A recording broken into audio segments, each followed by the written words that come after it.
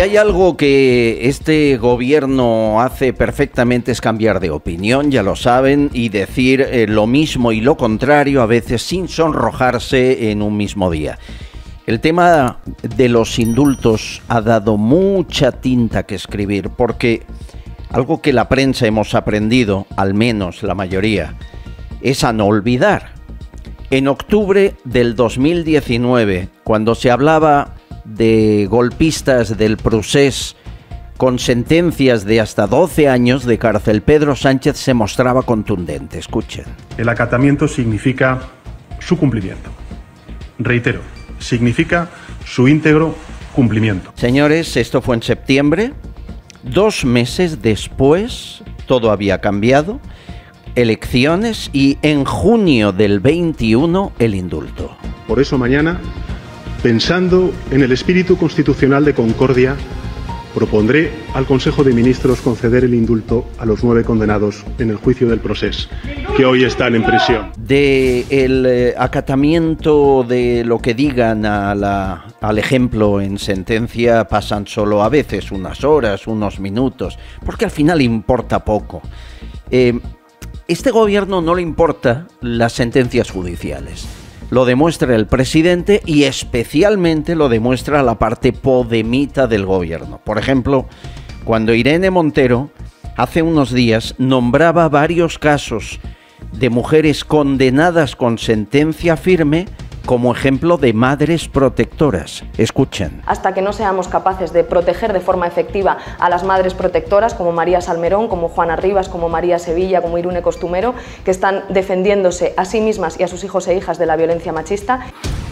¿Cómo que María Sevilla, madre protectora?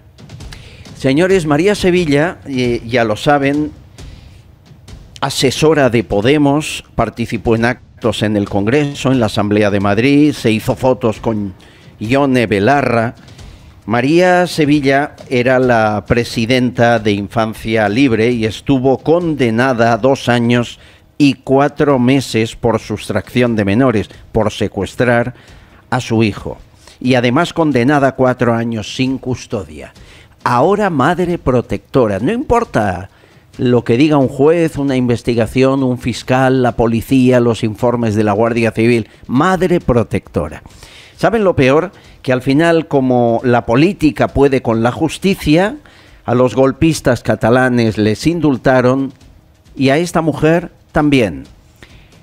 El gobierno ha indultado, como saben, en el día de ayer a María Sevilla, presidenta de la Asociación Infancia Libre, de manera que no ha pisado prisión ni un día.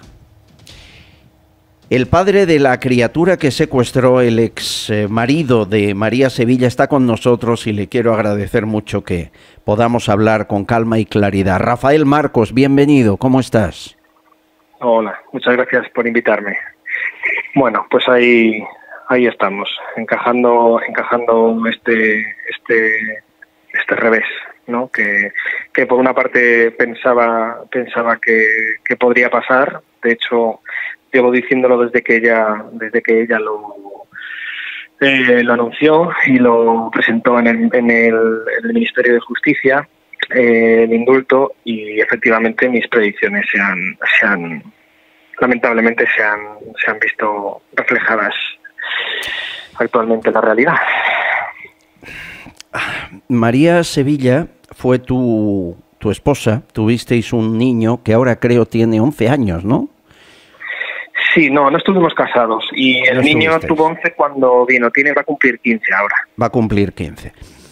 Te acusó a ti no sé cuántas veces, veces de abuso sexual a, a tu hijo, hasta que lo secuestró. Estuvo dos años en paradero desconocido, la buscaban, ¿no?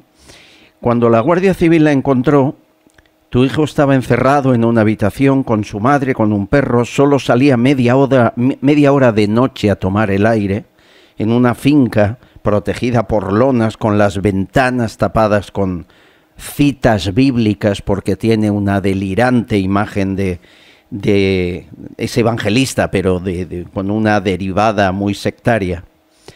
El niño sin escolarizar, sin vacunar, no sabía ni restar.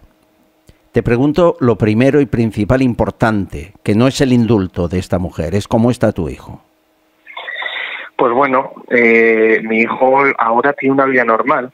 Eh, mi hijo eh, se le han puesto las vacunas que le faltaban, ha superado las alergias que tenía porque ella no, pese en contra de la voluntad de ella, que incluso intentó que no le hiciéramos la prueba de la leche y, y la cual la ha superado perfectamente eh, está yendo al psicólogo, eh, se ha puesto al nivel prácticamente de sus compañeros en tres años, de no saber ni restar, ahora eh, está a nivel de segundo de la ESO. Está teniendo una vida normal, está empezando a tener relación con, con una relación normal, porque le cuesta mucho al estar tanto tiempo sin, sin socializar con, con amigos y niños de su edad, le cuesta mucho socializar y ahora eh, bueno pues lo está consiguiendo está está siendo un niño lo más normal posible. Y, bueno que, que, un gobierno eh, abogue por esto cuando ni siquiera vamos es que ya no ya no me pongo en, en, que salga de prisión eh, sino que, que restauren la que la restitución de la retirada de la patria potestad en contra de, del Ministerio Público y del órgano sentenciador, eh, los cuales se han, se han, opuesto expresamente de esta medida porque, porque por el comportamiento de ella y porque lo ven un peligro para, para el niño. Y esto el gobierno le ha dado exactamente, exactamente igual. Entonces eh, mira más por una madre que por el bienestar de un menor. ¿Qué dice tu hijo sobre su madre? Mi hijo la tiene miedo. Eh, mi hijo ha testificado dos veces porque aún a día de hoy la madre sigue diciendo que actualmente está siendo abusado por mí. Eh, mi hijo ha ido dos veces a un juzgado y, en el instituto, pues bueno, la orientadora también emitió un escrito en el cual el niño dice que quiere que su madre deje de hacernos daño, que quiere que nos deje en paz, que él la tiene miedo, entre otras cosas, y, y bueno, pues es que él actualmente no lo sabe, se lo, se lo contaré esta tarde. Pero, pero no creo que la mucha gracia. Esto lo único que va a hacer es desestabilizarle. Eh, es cierto que cuando la policía, la Guardia Civil se llevaron a tu hijo de ese infierno en el que vivía con su madre, la madre le dijo, coge la Biblia y recuerda que tu padre es Satanás. Eso me dijeron, eso me dijeron los eh, los cuerpos y fuerzas del Estado que, que, lo trajeron y, bueno, yo sí que es verdad que venía con una, con una Biblia enorme, muy grande y con muy poquita ropa y muchísimas medicinas. Es tremendo que eh, una situación como la que describes eh, cualquiera, mucho más una ministra, la califique de madre protectora. Cuando escuchaste a Irene Montero decir eso, nombrar a tu ex madre protectora, después de denuncias falsas, de secuestrar a tu hijo y de adoctrinarle contra su padre hasta el punto de decirle que eras el diablo, ¿qué pensaste de Irene Montero? Y, de llamarme maltratador, porque eso yo la, la contesté en un en un TikTok que tengo, que me he tenido que abrir una cuenta para, para poder hacer público eh, todo lo que estaba pasando de alguna manera. Y, y bueno, le contesté con, con palabras y con testificales de mi hijo. Pero es que vamos a ver, eh, esta señora tiene un discurso en el cual dice que todas las madres, que ninguna dice la que ninguna dice ninguna mentira, que ninguna puede puede maltratar. Entonces, yo tenía claro que no se le puede caer el discurso y la iban, la iban a proteger y la iban a, a, pedir el indulto. Pero bueno, de eso, a que se haya procedido a, efectuar, pues, pues bueno, dicta, pasa, hay, hay un gran paso, ¿no? Pero parece ser que para esta señora todo vale, con tal de salirse con, con la suya, y, blanquea y no criminaliza a, los criminales, ¿no? Solo, solo lo ve en función del sexo. Si eres mujer, pues eh, todo vale, y si, si eres hombre, mm, da igual porque, porque, porque no vale, no haces nada bien, y, eres un, lo que ya he dicho muchas veces, ¿no? Somos potenciales eh, maltratadores. No solo eso, sino que decenas de organizaciones feministas han pedido la libertad de tu ex, les importa poco lo que hiciera, los delitos que cometiera, la investigación policial. Bueno, ¿el hecho de que sea indultada pone en riesgo a tu hijo o ya no? Absolutamente, absolutamente. Claro, mi hijo ahora ya no podemos salir por la calle de la misma manera que, que antes. Ahora tenemos que tener cuidado porque no sabe, mi hijo tiene miedo, no sabe, esto me lo ha dicho ya a tiempo, no sabe si su madre va a poder, va a volver a llevárselo.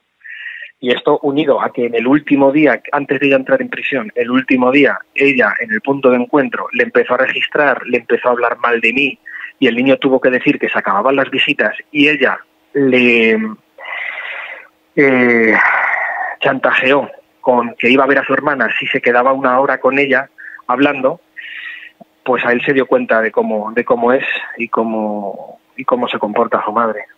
Entonces a ella es que le da igual mi hijo. Lo único que, ella quiere es hacerme daño. ¿Ha pisado la cárcel, aunque sea un día?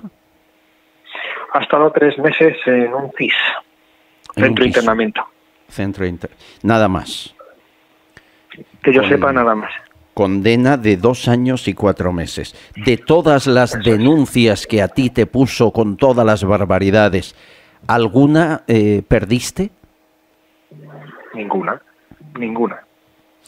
Tú que eres el inocente, la víctima de esta historia, mm, ¿quién te indulta a ti? ¿Quién se preocupa de ti? Más que de mí, de mi hijo, porque bueno, yo pues mira, soy adulto, pero pero aquí el, que peligra es mi hijo, que sigue siendo un, niño ya más mayor, un adolescente, pero sigue siendo un niño. Y eh, los perjuicios que le puede crear y le va a crear nos estábamos susanando y ahora va a volver otra vez.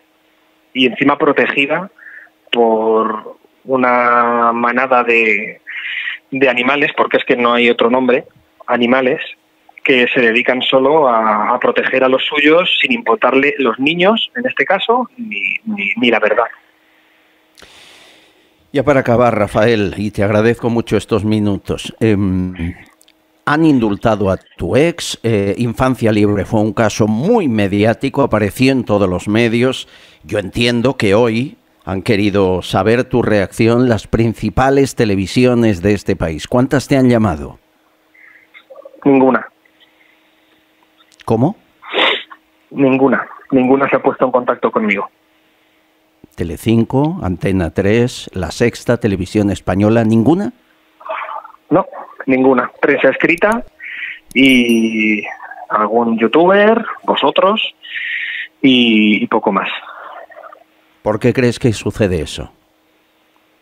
Pues creo que está bastante claro, ¿no? Si no sale, si no sale en absolutamente ninguna, algo tiene que haber.